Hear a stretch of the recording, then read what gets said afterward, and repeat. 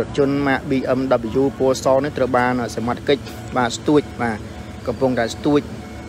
ដើម្បីលើកដាក់លើរថយន្តស្ទួចបាទយកទៅកាន់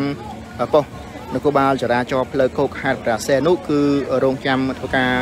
ដោះស្រាយទៅតាមនីតិវិធីច្បាប់អូបាទប្រិបត្តិនេះបាទបុកគាល់ដុំថ្មម្ដុំនេះមកអូនេះបាទគាត់ជាបាទរន្ធត់មែនទែនបាទគាត់ជារន្ធត់មែនទែនប្រិមិត្ត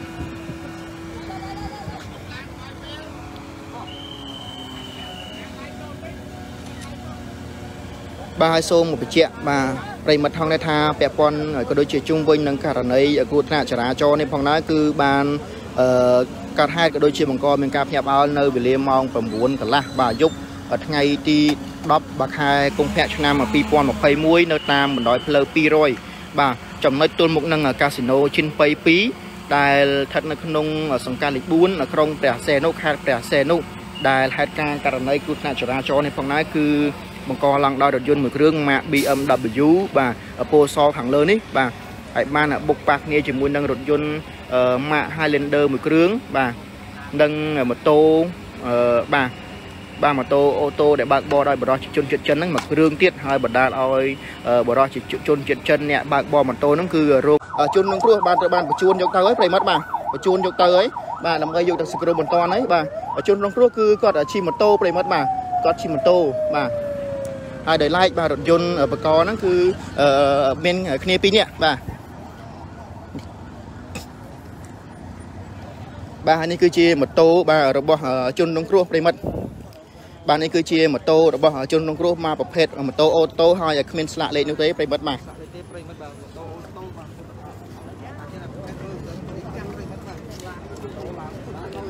ដោយប្រិមិត្តបានឃើញមកគឺម៉ូតូអូតូរបស់ជនជាតិចិនពោទឹកបិច បាទពោទឹកបិចប្រិមិត្តបាទហើយពុំមានស្លាកលេខនោះទេបាទ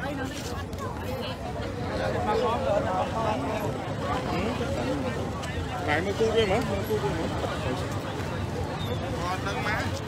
បាទប្រិមិត្តនេះគឺជារថយន្តបាទក៏ដូចជា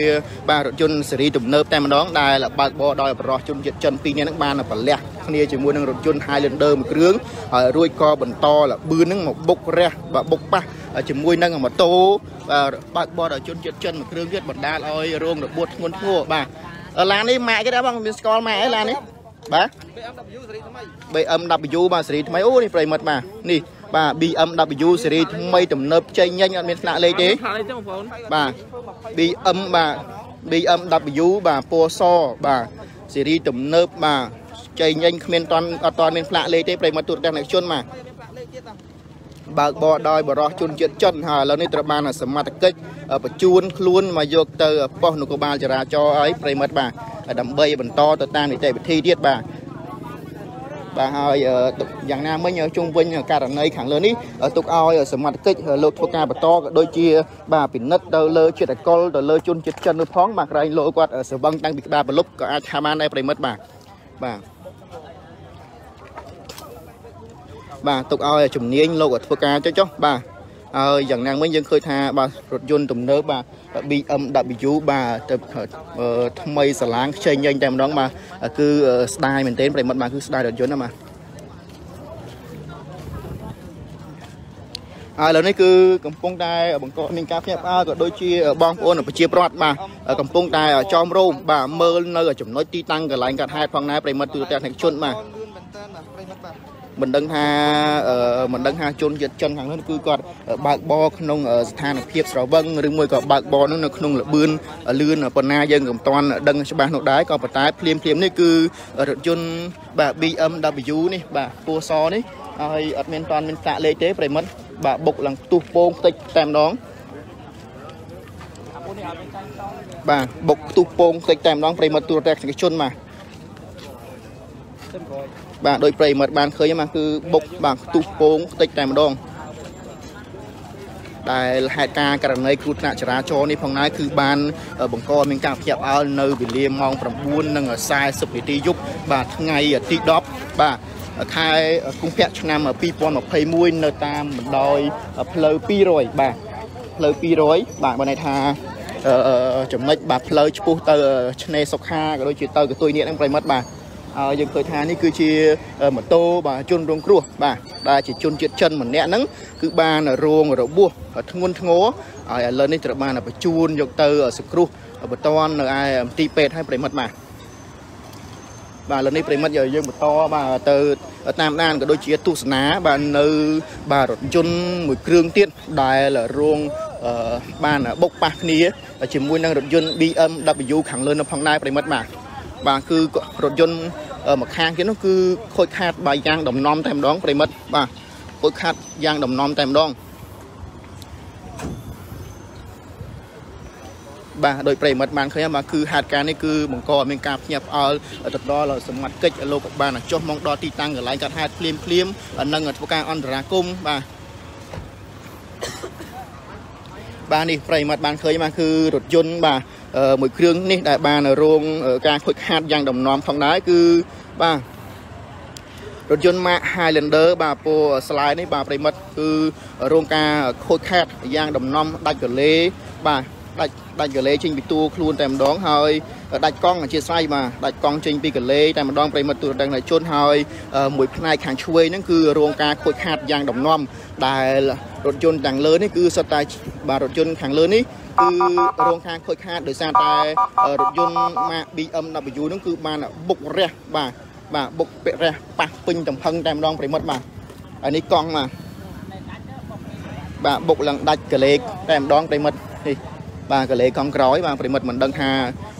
បរោះជាជនជាតិចិននោះគឺគាត់បើកលឿនប្រប៉ុណ្ណានោះទេប្រិមិត្តបាទ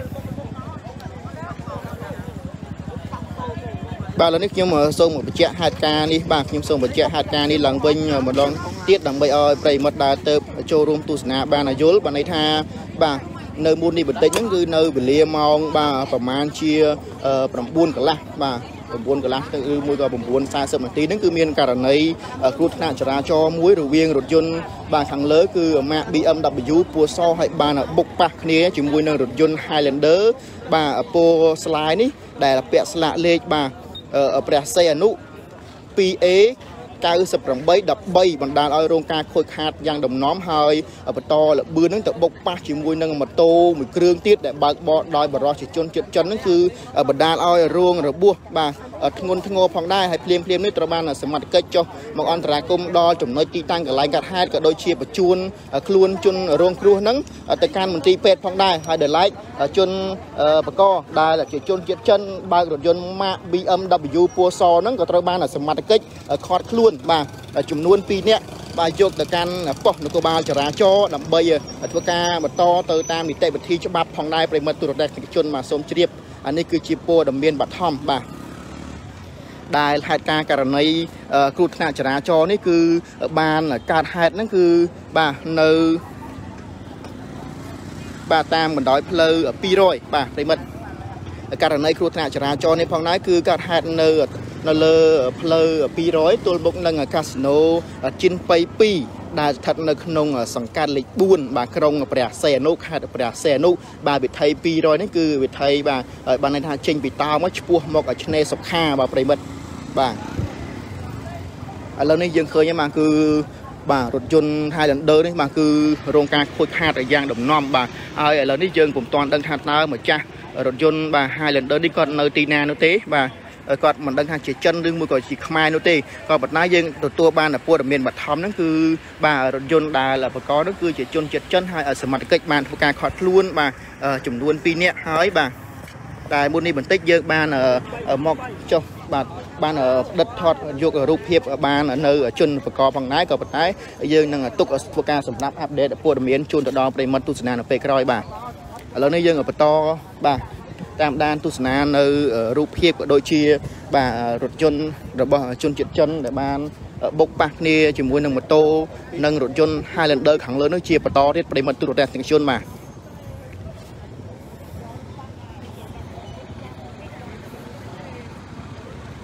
បាទប្រិមិត្តអឺពាក់ព័ន្ធនឹងរថយន្តបាទបកមក BMW នោះគឺថ្មីស្រឡាងខ្ចីញញសស្គុះបាទអត់ទាន់មានផ្លាកលេខទេបាទបាទខ្ចីញញសស្គុះតែម្ដងបាទប្រិមិត្តបាទនេះបាទ BMW បាទ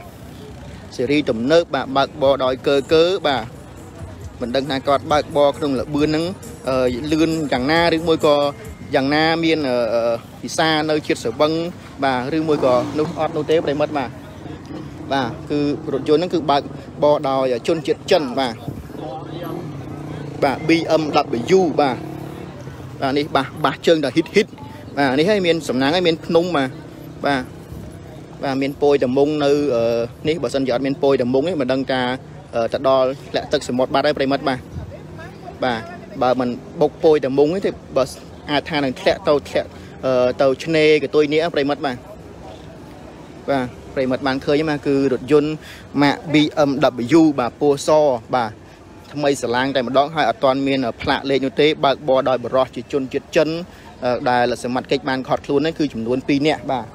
បាទបានន័យថាអ្នករួមដំណើរម្នាក់និងតកងរថយន្តនឹងម្នាក់គឺជាជនជាតិចិនទាំងពីរនាក់ហើយបាទជនជាតិចិនម្នាក់ទៀតនោះគឺបាទជាអ្នកបើកបរម៉ូតូនេះគឺគាត់បានរងរបួសធ្ងន់ធ្ងរបាទ ឥឡូវនេះត្រូវបានបញ្ជូនយកទៅសង្គ្រោះបន្ទាន់នៅឯមន្ទីរពេទ្យហើយប្រិមិត្តបាទបាទមិនដឹងថាមែនទេទៅយើងនិយាយថាភាសាចិននេះយើងមិនមែនថាប្រកាន់បកពួកឬមួយប្រកាន់ពូជសាសន៍នោះទេក៏ប៉ុន្តែយើងឃើញថាសូមឲ្យពួកគាត់ក៏ដូចជាបងប្អូនប្រជាពលរដ្ឋយើងនឹងគឺថាសូមឲ្យមានការចូលរួមគោរពច្បាប់ចរាចរណ៍ទាំងអស់គ្នាប្រិមិត្តបាទបាទមិនថាជនជាតិណាមិនថាសាសនាទេគឺយើងត្រូវតែចូលរួមបាទគោរពច្បាប់ ចរាចរណ៍ទាំងអស់គ្នាជាពិសេសហ្នឹងគឺនៅពេលយប់បលប់អញ្ចឹងបើកបរមកកុំលឿនបាទហើយសូមបាទកុំថាខ្សែបើថាស្រវឹងសូមកុំបើកបរប្រិមិត្តបាទបាទនេះពលទៅដល់អាយុជីវិតបងប្អូនអ្នកដតីទេគឺយើងអ្នកណាជាអ្នកបកគឺអ្នកនឹងគឺជាអ្នកទទួលហើយប្រិមិត្តបាទដូច្នេះបើសិនជាយើងកុំចង់ឲ្យមានបញ្ហានឹងប្រឈមមុខផ្លូវច្បាប់មានតែយើងចូលរួមគោរពបាទបាទគោរពច្បាប់ទាំងអស់គ្នាប្រិមិត្តបាទជាពិសេសគឺគោរពសិទ្ធិគ្នាបាទ បើកបរត្រូវមានការយោគយល់គ្នាបាទកុំប៉ាកុំជែងគ្នាអីបាទបាទកុំប្រញាប់ហើយមួយវិញទៀតគឺយកបលុំចេះសូមកុំនៅបើសិនជាសវឹងក៏ដូចជាមានចិត្តកលអីសូមកុំបើកបរបាទបើថាយើងសវឹងយើងធ្វើដំណើរក៏ដូចជាជិះម៉ូតូមិនកើតបើករថយន្តមិនកើតហ្នឹងគឺអាចបាទជិះ pass up ជិះតុកតុកម៉ូតូដុំអញ្ចឹងទៅបាទឥឡូវនេះគឺសេវាកម្មមានច្រើនណាស់ប្រិមិត្តបាទ តាក់ស៊ីក៏មាន pass up ក៏មានម៉ូតូឌុបក៏មានដែរបើថាសវឹងបើកបរមិនកើតទេគឺបាទចុចទៅតាម app តាមអីមកឥឡូវនេះសម័យបច្ចេកវិទ្យាទំនើបមែនទែនបាទ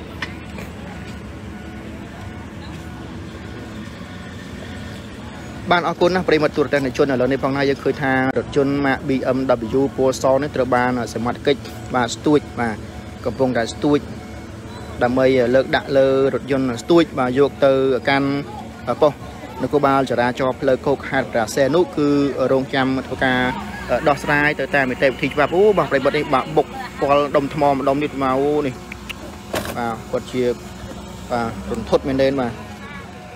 គាត់ជារន្ធត់មែនទែនប្រិមិត្ត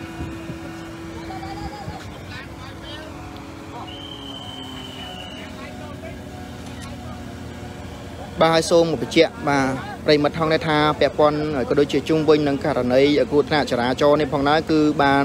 អឺកាត់ហេតុក៏ដូចជាបង្កមានការភ្ញាក់ផ្អើលនៅវេលាម៉ោង9កន្លះបាទយប់ថ្ងៃទី10បាទខែកុម្ភៈឆ្នាំ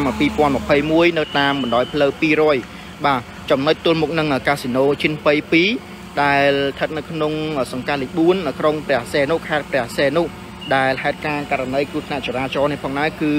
បង្កឡើងដោយរថយន្តមួយគ្រឿងម៉ាក BMW បាទពណ៌សខាងលើនេះបាទហើយបានបុកប៉ះគ្នាជាមួយនឹងរថយន្តម៉ាក Highlander មួយគ្រឿងបាទនិងម៉ូតូបាទបាទម៉ូតូអូតូដែលបើកបរដោយបរិសុទ្ធជនជាតិចិនហ្នឹងមួយគ្រឿងទៀតហើយបណ្ដាលឲ្យបរិសុទ្ធជនជាតិចិនអ្នកបើកបរម៉ូតូហ្នឹងគឺរោគរបួសធ្ងន់ធ្ងរបាទសល់តែដង្ហើមជីវិតហើយនៅខណៈពេលនេះក៏បានត្រូវនឹងបញ្ជូនយកទៅសង្គ្រោះបន្ទាន់នៅឯមន្ទីរពេទ្យផងដែរប្រិមិត្តបាទ អរគុណណាស់ប្រិមិត្តដែលបានចំណាយពេលវេលាដ៏មានតម្លៃចូលរួមទស្សនារាល់ការផ្សាយផ្ទាល់របស់អង្គភាពសារព័ត៌មាន SNTV ប្រចាំខេត្តព្រះសីហនុដែលមានរូបខ្ញុំបាទសោមពត្រាជាភ្នាក់ងាររាយការណ៍ព័ត៌មានតនហេតុការពិសេសនៅក្នុងខេត្តព្រះសីហនុបើសិនជាមានពាក្យពេចន៍លើសលុះខ្វះខាតត្រង់ប្រការណាមួយក៏ដូចជាការធ្វើអត្ថាធិប្បាយក៏ដូចជាព័ត៌មានបឋមនេះរាយការណ៍ទៅមិនបានល្អបាទ